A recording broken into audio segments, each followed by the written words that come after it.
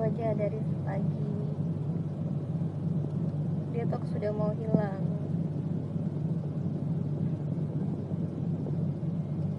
Berkat